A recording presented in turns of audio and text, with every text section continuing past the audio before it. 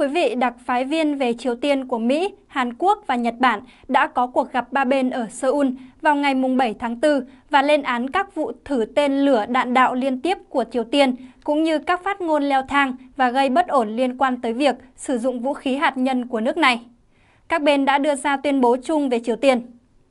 Các bên cũng cam kết tiếp tục củng cố và đa dạng hợp tác an ninh nhằm đối phó với mối đe dọa từ Triều Tiên đối với an ninh khu vực và toàn cầu. Đặc phái viên của Mỹ Sung Kim nhắc lại cam kết bảo vệ Mỹ và Hàn Quốc của Mỹ. Mỹ, Hàn Quốc và Nhật Bản kêu gọi Triều Tiên tuân thủ những nghĩa vụ của nước này theo các nghị quyết của Hội đồng Bảo an, đồng thời kêu gọi các nước thành viên Liên Hợp Quốc tuân thủ hoàn toàn các nghị quyết của Hội đồng Bảo an. Đại diện ba nước cũng bày tỏ quan ngại về các hoạt động đánh cắp và rửa tiền thông qua mạng Internet của Triều Tiên. Theo dữ liệu từ nhóm chuyên gia Liên Hợp Quốc, trong khoảng thời gian từ 2015 tới 2019, Triều Tiên đã tìm cách đánh cắp 2 tỷ đô la thông qua các phương tiện trên mạng.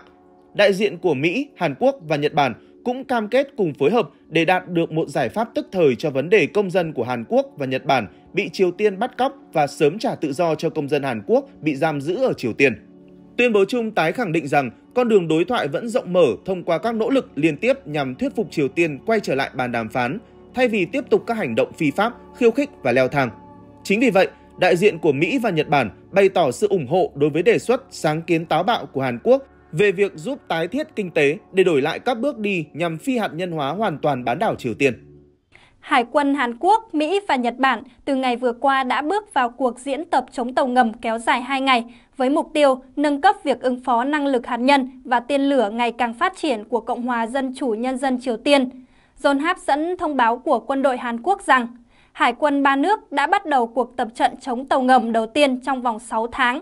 trong nỗ lực tăng cường sự phối hợp đối phó nguy cơ gia tăng từ Triều Tiên.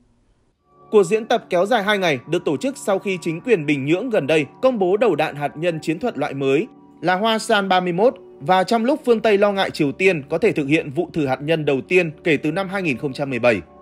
Bộ Quốc phòng Hàn Quốc cho biết cuộc diễn tập hải quân diễn ra ở vùng biển quốc tế bên ngoài đảo Jeju và có sự tham gia của tàu sân bay hạt nhân USS Nimitz của Mỹ, cũng như các khu trục hạm đến từ ba nước tham gia. Theo nội dung diễn tập, ba nước triển khai tàu dò tìm và bám theo các tàu không người lái dưới nước của Hàn Quốc và Mỹ, đảm nhận vai trò tàu ngầm và các tài sản quân sự khác của phe địch. Trong quá trình bám theo, các tàu Mỹ, Nhật, Hàn chia sẻ thông tin và phối hợp loại trừ nguy cơ từ tàu địch giả định. Còn trong nội dung tìm kiếm và giải cứu, các bên diễn tập các quy trình cứu hộ khẩn cấp khi xảy ra sự cố trên biển. Hàn Quốc thông báo triển khai các tàu khu trục chủ lực của hải quân nước này là Yungok Yi, Chueyong và Daejeong, cũng như tàu hỗ trợ tác chiến Soyang. Còn Mỹ bên cạnh tàu sân bay còn góp mặt hai tàu khu trục USS Wayne E. Meyer và USS Decatur, trong khi Nhật Bản gửi khu trục hạm GS Umigiri.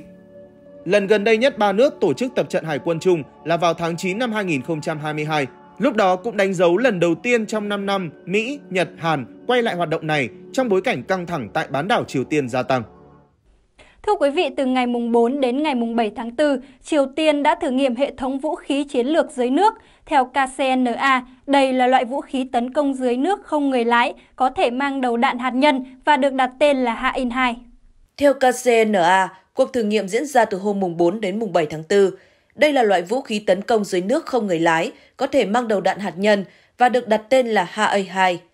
KCNA cho biết, trong cuộc thử nghiệm, máy bay không người lái đã bay quãng đường 1.000 km dưới nước trong 71 giờ 6 phút và bắn trúng mục tiêu mô phỏng, KCNA cho biết. Cuộc thử nghiệm đã chứng minh một cách hoàn hảo độ tin cậy của hệ thống vũ khí chiến lược dưới nước và khả năng tấn công mạnh mẽ. Mới đây, Triều Tiên tiết lộ một loại máy bay không người lái mới gọi là HA-1, được thiết kế để thực hiện các cuộc tấn công bí mật trong vùng biển của kẻ thù. Thời gian gần đây, Triều Tiên tiến hành nhiều hoạt động quân sự trong bối cảnh Mỹ và Hàn Quốc cũng liên tiếp tiến hành các cuộc tập trận quân sự chung. Bình Nhưỡng cũng tiết lộ các đầu đạn hạt nhân mới, nhỏ hơn và một tên lửa đạn đạo xuyên lục địa có khả năng tấn công bất cứ nơi nào trên đất Mỹ. Triều Tiên xem các cuộc tập trận quân sự chung Mỹ-Hàn Quốc là cuộc diễn tập chiến tranh và có thể đẩy tình hình trên bán đảo Triều Tiên lún sâu hơn vào vòng xoáy căng thẳng. Bộ Ngoại giao Triều Tiên cảnh báo không có gì đảm bảo rằng sẽ không có xung đột nóng nếu Mỹ và Hàn Quốc tiếp tục các hành động khiêu khích quân sự. Triều Tiên tiến hành 6 vụ thử hạt nhân kể từ năm 2006. Vụ thử hạt nhân gần đây nhất của nước này là vào năm 2017. Trong những năm gần đây, Triều Tiên liên tục phóng thử tên lửa đạn đạo và tên lửa liên lục địa. Chỉ riêng năm ngoái, nước này phóng hơn 60 tên lửa. Báo cáo đánh giá mối đe dọa năm 2023 mới đây của Văn phòng Giám đốc Tình báo Quốc gia Mỹ cho biết, lãnh đạo Triều Tiên Kim Jong-un có khả năng tiếp tục cho thử tên lửa mang đầu đạn hạt nhân trong thời gian tới. Hàn Quốc mới đây cho biết Triều Tiên bất ngờ không phản hồi các tương tác thường nhật giữa hai nước thông qua một đường dây liên lạc xuyên biên giới và một đường dây nóng quân sự. Hai miền Nam Bắc Triều Tiên thường liên lạc qua điện thoại hai lần mỗi ngày vào lúc 9 giờ sáng và 17 giờ chiều giờ địa phương thông qua hai kênh liên lạc nói trên. Tuy nhiên, John Hap trích dẫn tuyên bố của Bộ Thống nhất Hàn Quốc cho hay, phía Triều Tiên đã không hồi đáp cả hai cuộc gọi này hôm 7 tháng 4. Nhà chức trách Hàn Quốc trước đó nói không có vấn đề gì với các đường dây liên lạc ở đất nước họ và Bộ Thống nhất đang theo dõi tình hình một cách chặt chẽ. Quân đội Hàn Quốc cũng lên tiếng xác nhận sự gián đoạn liên lạc giữa hai bên. Seoul đang tìm hiểu nguyên nhân của việc này, kể cả khả năng đã xảy ra trục trặc kỹ thuật bên phía nước láng giềng. Hồi tháng 6 năm ngoái, Bình Nhưỡng từng không hồi đáp một cuộc gọi của Seoul qua đường dây nóng vì gặp vấn đề kỹ thuật do mưa lớn gây ra.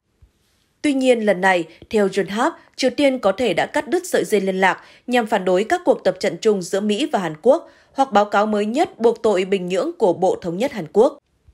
Hồi tháng 7 năm 2021, Bình Nhưỡng đã khôi phục đường dây nóng liên triều khoảng một năm sau khi cắt đứt liên lạc để phản đối chiến dịch giải truyền đơn chống họ của các nhà hoạt động ở bên kia biên giới. Đường dây liên lạc một lần nữa bị cắt đứt vào tháng 10 và được khôi phục sau đó. Thưa quý vị, Cộng hòa Dân chủ Nhân dân Triều Tiên vừa cáo buộc Mỹ và Hàn Quốc làm leo thang căng thẳng đến bờ vực chiến tranh hạt nhân thông qua các vụ tập trận quân sự chung có sử dụng vũ khí chiến lược. Hãng thông tấn KCNA của Triều Tiên hôm nay đăng một bài bình luận của ông Choi Ju-hyung, người được gọi là nhà phân tích an ninh quốc tế, trong đó chỉ trích các cuộc tập trận chung Hàn-Mỹ là ngòi nổ đẩy tình hình trên bán đảo Triều Tiên đến điểm bùng nổ. Các lực lượng Mỹ và Hàn Quốc đã tiến hành một loạt các cuộc tập trận mùa xuân hàng năm kể từ tháng 3, bao gồm các cuộc tập trận trên không và trên biển với sự tham gia của một tàu sân bay và các máy bay ném bom B-1B và B-52, cũng như cuộc tập trận đổ bộ quy mô lớn đầu tiên của hai bên sau 5 năm, theo Reuters. Bình Nhưỡng đã phản ứng dữ dội về các cuộc tập trận Trung Hàn Mỹ nói trên, gọi đó là cuộc diễn tập xâm lược Triều Tiên. Ông Choi viết, sự cuồng loạn đối đầu quân sự liều lĩnh của Mỹ và những người ủng hộ nước này chống lại Cộng hòa Dân chủ Nhân dân Triều Tiên đang đẩy tình hình trên bán đảo Triều Tiên đến một thảm họa không thể đảo ngược, đến bờ vực của một cuộc chiến tranh hạt nhân. Ông Choi cảnh báo trong bài viết, các cuộc tập trận đã biến bán đảo Triều Tiên thành một hầm thuốc súng khổng lồ có thể phát nổ bất cứ lúc nào. Bài bình luận trên còn viết rằng Mỹ và Hàn Quốc đã vượt quá giới hạn chịu đựng của Triều Tiên và Bình Nhưỡng sẽ đáp trả bằng cách thực hiện khả năng gian đe chiến tranh thông qua hành động tấn công. Triều Tiên đã tăng cường hoạt động quân sự trong những tuần gần đây, tiết lộ các đầu đạn hạt nhân mới, nhỏ hơn, tuyên bố sẽ sản xuất nhiều vật liệu hạt nhân cấp vũ khí hơn và thử nghiệm máy bay không người lái tấn công dưới nước có khả năng hạt nhân.